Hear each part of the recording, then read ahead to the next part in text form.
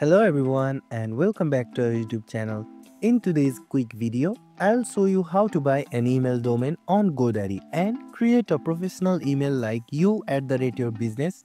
So let's get started. First of all, open the browser on your mobile device and go to GoDaddy's official website which is www.godaddy.com.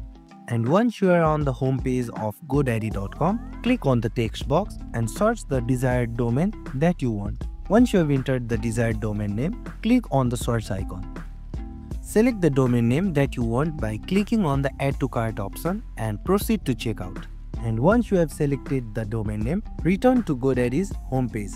From here, click on the hamburger option which is located at the top left corner of the screen and simply click on the option saying email. From here, you will be able to see the different options that are provided by GoDaddy. Individual, Team, Microsoft 365 are the different options that have been provided in the email section. Select a plan, either the professional email or Microsoft 365 email that suits according to your business and add it to your cart. Once you have added it to the cart, click on the option saying continue to cart.